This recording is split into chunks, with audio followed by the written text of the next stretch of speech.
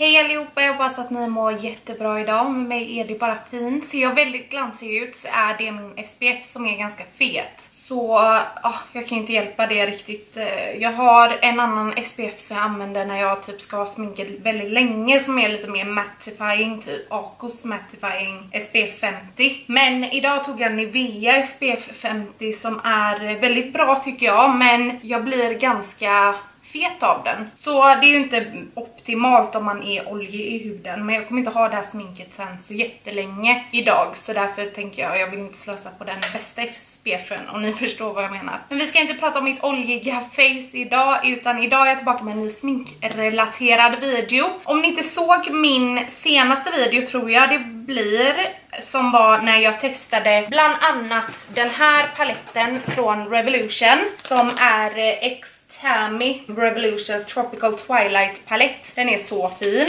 Så kan ni kika in den. Jag lägger den uppe i kortet här nu och även nere i beskrivningen så kan ni kika in den om ni skulle vilja det. Där gjorde jag en lite mer soft, eller soft, jag menar det ska vi göra idag. Jag gjorde en mer colorful sminkning i den videon. Och idag ska det bli lite mer soft glam. För som ni såg i titeln så kommer jag att ge mina first impressions och en review på den här paletten som jag fick i födelsedagspresent nyligen. Och det gjorde jag ju också en video på så såg du inte den så kan jag också länka den här uppe nu och nere i beskrivningen så kan ni kika in den. Men det är i alla fall Linda Hallbergs Infinity Glam palett som då ser ut så här på utsidan och vi kommer gå in lite mer in depth på alla färgerna och så sen under videons gång. Jag frågar nämligen i den födelsedagsvideon att eh, ja, om ni skulle vilja se typ mig göra det mesta jag kan ifrån den här paletten, alltså bronzer, blush highlighter och även ögonskugga och så. Och det ville ni så därför ska jag göra det idag så det kommer bli liksom full face typ av den här, inte foundation och så, men ni förstår grejen. Men om du inte följer mig på mina sociala medier så ser ni det i rutan nu och längst ner i beskrivningen på varje video jag lägger upp så får ni jättegärna gå in och följa mig där. Och är du ny här på kanalen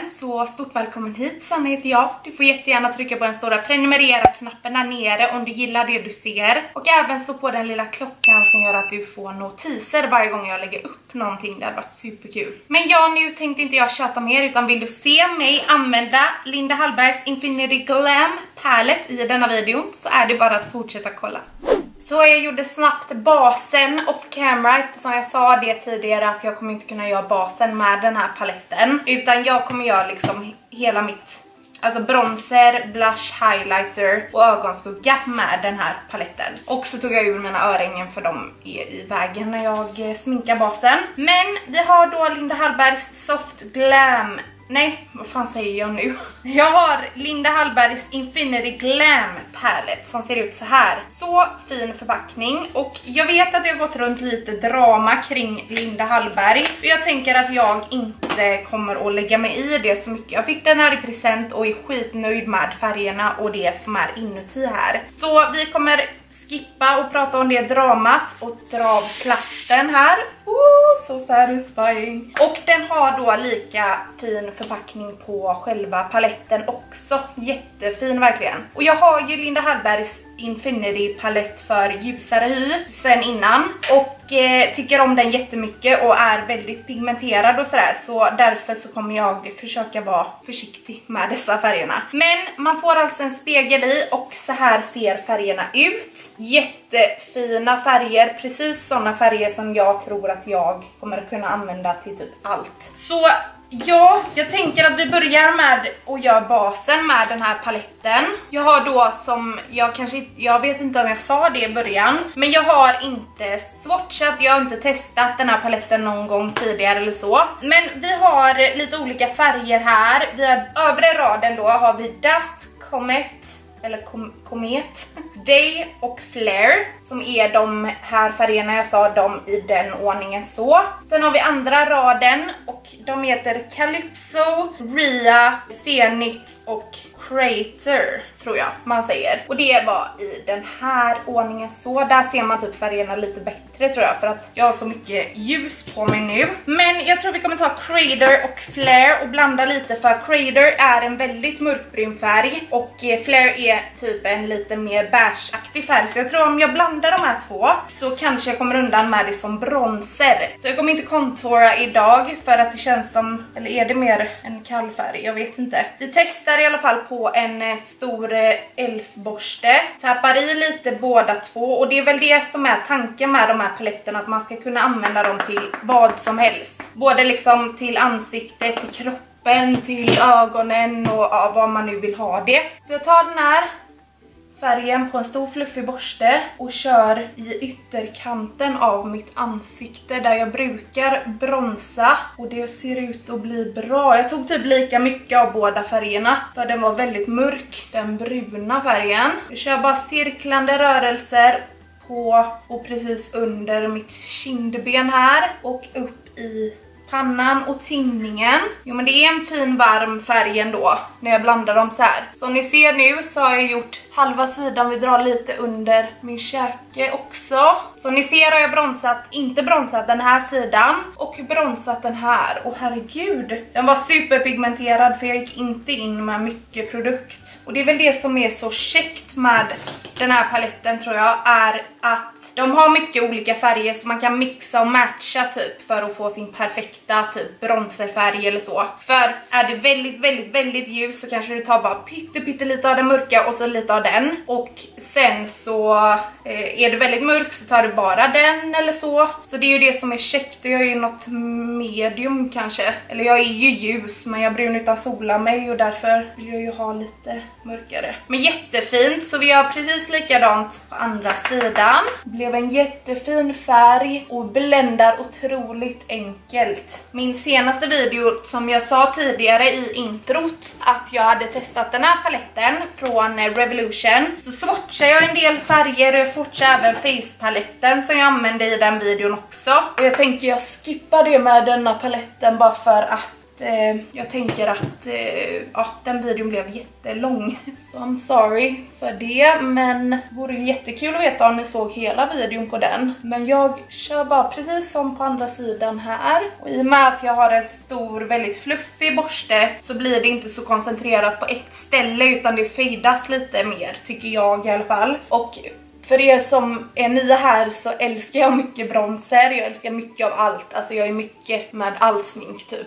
Så vissa tänker, vad håller du på med? Hur mycket tar du? Men jag gillar det. Det kan hända att det här mixade, de två färgerna, blir min go-to bronzer faktiskt. Jag vet inte om ni tycker det ser så bra ut. Jag har tagit väldigt mycket nu. Eh, det är nästan borderline för mycket till och med för mig som älskar mycket. Men eh, jag tyckte det här blev så fint. Jag ser väldigt solkysst ut och bronzed. Så jag gillar det här jätte jättemycket faktiskt. Och i och med att det här är en allt i allo palett så tänker jag att för en bronzer, för de flesta kanske vill att den ska vara inte så här jättepigmenterad utan att man bygger upp den. Och vissa tycker ju då att ögonskuggor ska vara så att de verkligen ger effekt direkt. Men eh, jag tänker att det är eh, svårt då att få båda liksom. Alltså om det ska bli både för ansiktet och för ögon och sådär. Men den var väldigt pigmenterad så jag kan tänka mig att den kommer vara det på ögonen också. Till blush så finns det flera olika som man skulle kunna välja mellan. Vi har dessa, oj ska vi se. Vi har dessa två som är matta färger. Den washes out men den är lite peachy om ni ser nu kanske för att så så, det här ser ju bara vitt ut alltihop i kamera typ. Men vi har den Day och sen har vi Zenit som är lite mörkare röd typ som passar jättefint på mörkare hudtoner kan jag tänka mig. Sen har vi de här som är skimriga då, de här fyra. Men jag tror vi går in med bara Day på en lite så här duo fiber brush. Slår av och lägger precis ovanför bronsen och blandar ihop den lite med bronsen här. Och det här är då en matt färg. Anledningen att jag tar den på en sån här duo fiber brush som jag gjorde i förra är fall den är väldigt pigmenterad så tycker jag att det inte blir lika mycket payoff med en sån här borste. För jag är gillar blush jättemycket men jag gillar ändå inte att ha så mycket blush ändå.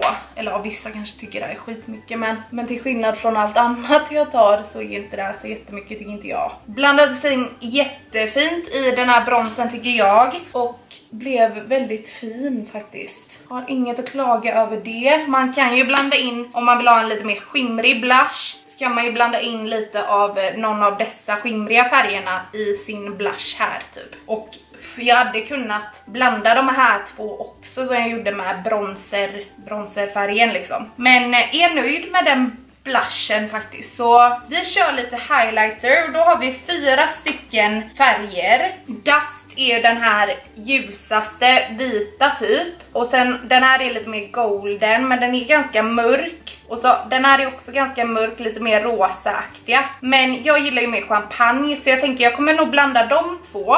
Som är Dust och Comet. Komet, ja hur man nu säger. Borstar av min eh, highlighterborste här lite. Och så kör vi då lite utav Dust på båda sidor. Och lite av Komet och så lite av Dust igen. Så, slår av. Oj vad det kom mycket. Så ska vi se, här har ju ingenting. Väldigt matt på denna sidan. Så kör vi på den här highlighten här. Oj oj oj, här kommer det glow. Kanske tog lite mycket av den komet. Jag vet inte om ni ser det men den är lite lite lite mörk när jag gör så här. Men jag kommer blanda ut den så don't you worry. Så kör vi på andra sidan här och så har jag en finne precis där man lägger highlighter. Men eh, det kan ju inte hjälpas. Ja, det var då fan vad skimriga de här var i alla fall. Kör lite på nästippen mellan mina bryn som vanligt hakan här och amorbågen. Nu har jag bara lagt highlighter överallt, nu ser det knasigt ut. Tar jag en Morphe borste, det här var förresten en Linda Hallberg 306 borste. Älskar att applicera highlighter med den. Men sen tar jag en Morphe borste som är deras M501 borste som är lite fluffigare och blandar ut highlightern så det inte bara är ett streck liksom. Och så samma överallt där jag har lagt highlightern. Superfin highlighter om ni frågar mig. Blev väldigt glowy och fin. Så hittills som facepalett kommer jag absolut använda den flera gånger om. Så skitbra hittills. Men jag tänker att jag gör så att jag eh, går off camera. går. Eh, nej men och slänger på lite bryn. Och sen så kör vi ögonskugga. Och så, eh, ja så gör vi det med den här paletten såklart. Så jag kommer tillbaka alldeles strax. Och nu är det då dags för ögonen. Och vi har då samma palett som innan såklart. Och jag ska se här vad vi ska göra. Jag tror jag kommer ta Day som jag använde som en blush. Fan, syns knappt. Men eh, den färgen, den är väldigt peachy. Undrar om jag ska dra ner ljusstyrkan en aning. Nu kanske ni ser paletten bättre. Men den ser typ gul ut, men den är väldigt peachy. Där ser man mycket bättre. Den tar jag då på en eh, fluffig borste. Och jag har förresten primat mina ögonlock för jag tycker att eh, det blir bäst när jag gör det. Och jag älskar min ögonskuggsprimer som är MAC Soft Ochre Paint Pro Longwear Paint Pot i färgen Soft Ochre. Så det har jag gjort redan. Så ta den färgen på en fluffig borste och ser om jag kan få in den något sånt där i globlinjen här. Gör inte så mycket om det kommer på själva locket. Vi kommer gå över med någon skimrig färg där sen tänker jag. Men gå bara fram och tillbaka i globlinjen här med den här färgen och bländar as we go. Egentligen tycker jag att det är är bättre att köra på ett annat sätt med en sticky base som man säger. Och det är egentligen att ta den mörkaste färgen man vill ha först i yttre V typ och Eh, packa på den och sen blända uppåt liksom mot de ljusare färgerna. Men så långt tänkte inte jag idag. Så nu kör vi på den här planen som jag hade i huvudet. Och den här är jag inte rädd för att blända upp mot brynet för det kommer vara våran official eller vad man säger, initial kanske man säger, transition shade. Som jag så fint hör på tutorials på Youtube alltså våran grund liksom, färg. Så den är jag inte rädd för att dra upp för då kommer det bara fejda bättre sen om jag lägger något annat i globlinjen sen. Jättefin färg. Nu går vi in med Zenit som är den eh, mörkröda rostiga färgen i paletten.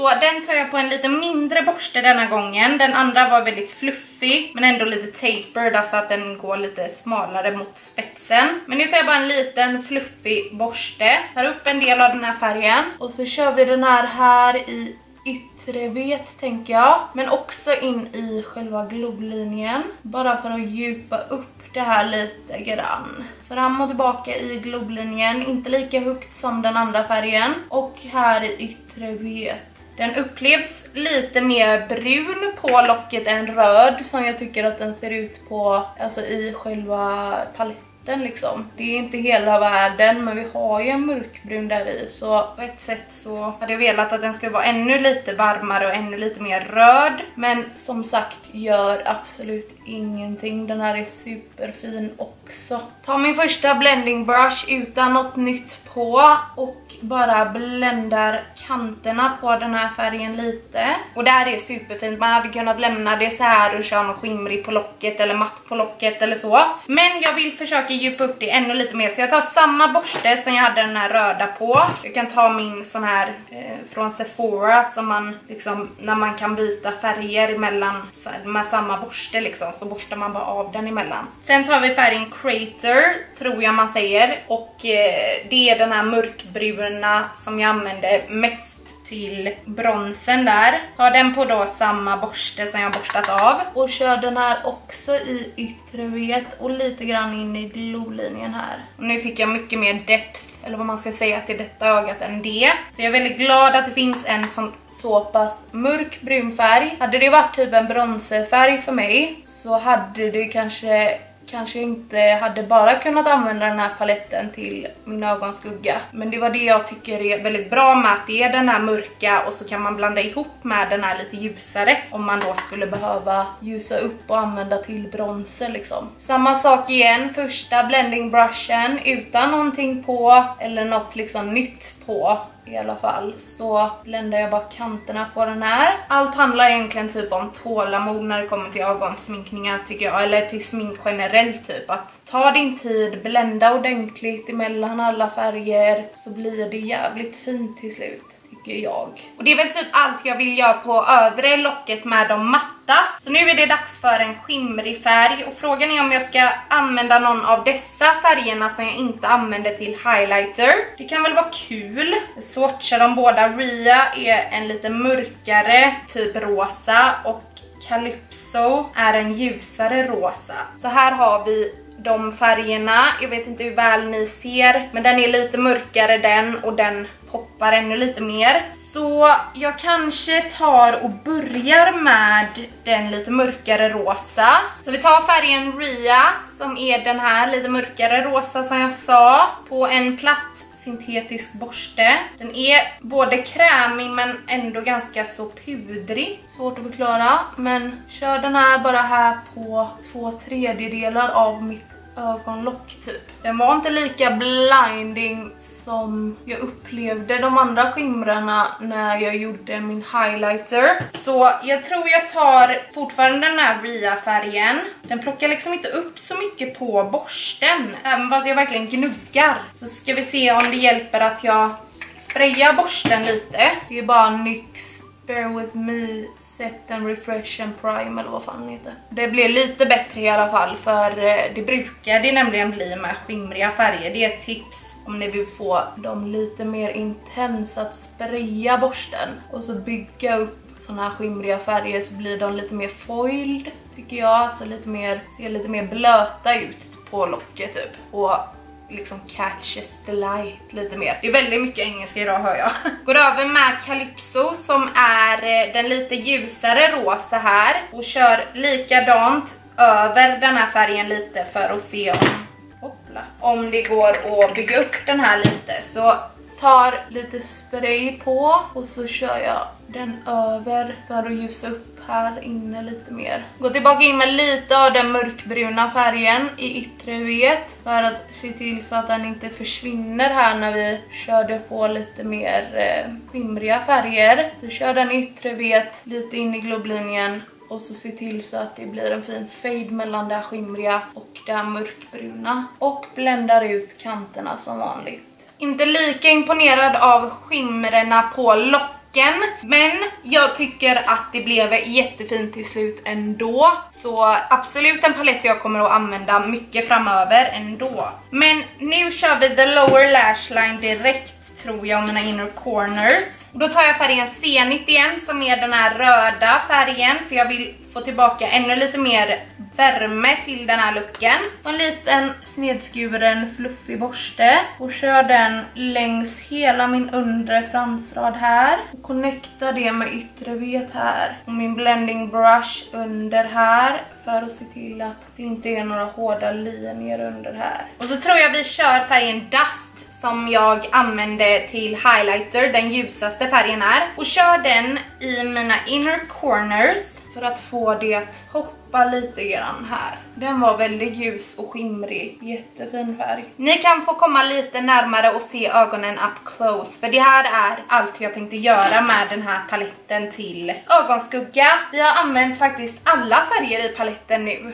Så det var ju kul och ha testat allihopa. Så ni får komma lite närmare och kika på ögonen. Så här har vi ögonen up close utan fransar eller någonting på. Det blir ju väldigt så här soft glam look med den här paletten eftersom den är, den heter ju glam palette också. Men det är ju mycket neutrala färger i den här. Så jag kan ju inte göra så mycket färgglatt. Men jag älskar ju neutrala ögonsminkningar. Det är ju något av det bästa jag vet. Så jag är skitnöjd. Alltså den här inner corner shaden som jag också använder till highlighter är fantastisk. Och de matta bländade jättefint. Och ja, jag tycker generellt det blev väldigt fint faktiskt. Vad tycker ni? Ni får kommentera där nere. Men jag gör så att jag går off camera en gång till, slänger på mascara, fransar under eh, här fransar också på undre fransraden och eh, läppar och setting spray och så. Så kommer jag tillbaka med mina final words about this little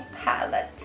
Så nu var fransar, läppar, setting spray och allt sånt på. Jag köpte ett gloss idag. Tyckte det passade ganska bra eftersom mm, alltså det är mycket matt på ögonen främst, alltså så. Sen hade jag ju skimmer men de, det är mest i inner cornersarna som det syns mer. Så jag körde på gloss idag. Men här har vi då sminket all complete. Jag la på mer highlighter och mer bronzer bara egentligen. Så ja, jag hoppas eh, ni tycker det är fint. Ni får jättegärna kommentera där nere vad ni tycker. Om ni har den här paletten eller om ni skulle vilja ha den. Om denna videon på något sätt var hjälpsam eller så. Men så, det var faktiskt allt för dagens video. Hoppas ni fann den underhållande, inspirerande eller vad som helst. Om ni tyckte om den här videon så får ni jättegärna lämna en fin kommentar där nere. Och som vanligt, om du tyckte om den här videon, glöm inte att ge den en stor tumme upp så jag vet det. Och glöm inte heller bort att prenumerera på min kanal. Innan du lämnar den här videon så skulle jag bli superglad. Ska man såklart välta ner grejer här. Men så får ni ha det bäst tills nästa gång. Puss och kram.